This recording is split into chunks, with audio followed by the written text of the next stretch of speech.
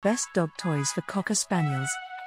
If your Cocker Spaniel enjoys games of fetch, you need to get them a Kong Wubba. Tossing and tugging toys aren't the only ways you may play with this Kong Wubba dog toy. A small rubber ball and a larger squeaker ball add to the fun and excitement of this toy, which is made of reinforced ballistic nylon fabric. The squeaker keeps your dog's attention, and the hard rubber ball is great for teething or destructive chewers.